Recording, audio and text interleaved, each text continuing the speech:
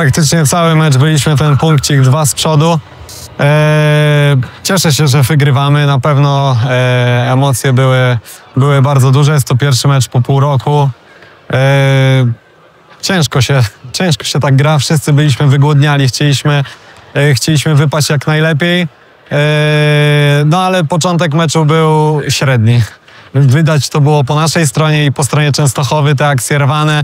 Na szczęście, na szczęście kiedy wyszliśmy na swój rytm, e, odskakiwaliśmy Częstochowie. Wydaje mi się, że mamy lepszy team. Jestem tego pewny, że mamy lepszy team.